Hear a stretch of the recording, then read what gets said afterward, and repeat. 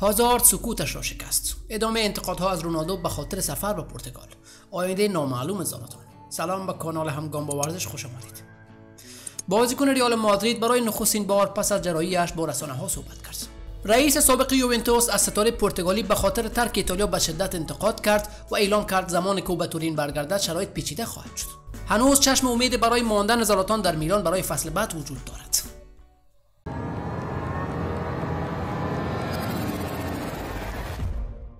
با نقل از نشریه آیس ایدن هازارد که در مادرید در قرنطین به سر می‌برد برای نخستین بار پس از جراحی خود با رسانه ها صحبت کرد.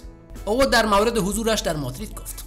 اولین فصل حضور من در مادرید فصل بد بود ولی همه چیز را نباید دید این فصل بود که باید خودم را با محیط جدید سازگار می‌کردم. من را باید با توجه به عمل کردم در فصل آینده قضاوت کرد. سال آینده من هستم که باید خودم را در اوج نگه دارم.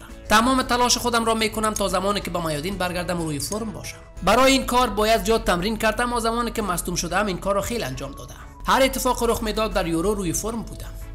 ستاره بیلجیمی ریال مادرید در مورد تویق یورو 2020 اظهار داشت. منتظر این بازی ها بودم از این که به تویق افتاد ناراحت شدم. برای بازی کردن در این رقابت ها برنامه ریزی کرده بودم با وجود اینکه مدت هست جراحی کردم.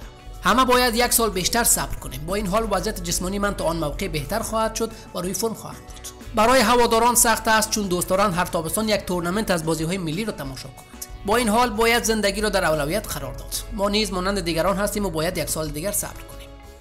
هازارد در تابستان گذشته با قرارداد به ارزش 100 میلیون یورو از چلسی راهی ریال مادرید شد ولی به دلیل مصونیت نتوانست در این تیم بدرخشد و انتظارها را برآورده کند.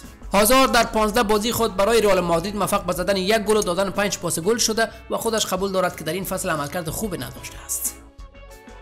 به نقل از مارکا کریستیانو رونالدو در ایتالیا در مرکز انتقادها قرار دارد. در حالی که این کشور اروپایی به خاطر شوی دشمن مشترک در وضعیت بد قرار داشت مهاجم یوونتوس تصمیم گرفت قرنطینه را ترک کند و برای دیدن مادرش به پرتغال برود.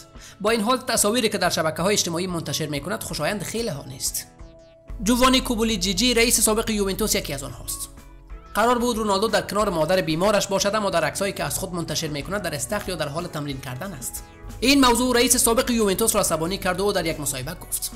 شرایط زمان برای یوونتوس سخت شد که رونالدو تورین را ترک کرد. او گفته بود به خاطر مادرش می رود اما اکنون تنها در استخر عکس می گیرد زمانی که استثناء قائل می شوید شرایط بد می شود و دیگر بازیکنان هم خواهان ترک شهر هستند. نباید این چنین می شد همه باید در قرنطین می ماندند جی جی در پایان اظهار کرد. اکنون انتقاد کردن آسان است اما نمی‌فهمم چرا بعض از بازیکنان خواستار ترک ایتالیا بودند. زمانی که برگردن روی فرم قرار گرفتنشان سخت می شود چون باید 14 روز در قرنطینه بمانند. در بین همه بلا تکلیفی هایی به وجود آمده به علت شوی دشمن مشترک آینده زلاتان ابراهیموویچ در میلان و شاید به طور کلی در عرصه فوتبال نیز در حاله از ابهام قرار دارد. کوریر دلا اسپورت مدعی شد زلاتان چندان از شرایط راضی نبوده و ممکن است تا های آتی از دنیای فوتبال خداحافظی کند. با جدایی زوین میربوبان و احتمالاً پاولو مالدنی از باشگاه میلان زلاتان دیگر انگیزه چندان برای ادامه فعالیت در این تیم ندارد. ستاره سوئدی با درخواست این دو بازوی اجرایی باشگاه میلان راهی سنسیرو شده بود و حالا از اتفاقات رخ داده چندان راضی نیست. اما ایوان گازیدیز مدیر میلان امیدوار است بتواند زلاتان را راضی کند که یک فصل دیگر در میلان باقی بماند. روس نریب به دنبال انقلاب تابستانی و خرید بازیکنان جدید بوده و مدیریت این باشگاه معتقد است حضور بازیکن با تجربه مانند زلاتان برای فصل بعد به سود این تیم خواهد بود. ستاره سیویدی در حال حاضر به همراه خانواده اش در سوئد مستقر بوده و در حال ارزیابی شرایط است. هنوز تصمیم زلاتان در مورد آینده قطعی نشده و مدیران میلان امیدوار به توافق با این مهاجم 38 ساله هستند. تشکر از همراهیتان. تا گزارش بعدی سبز و شاد بمانید نگهدار.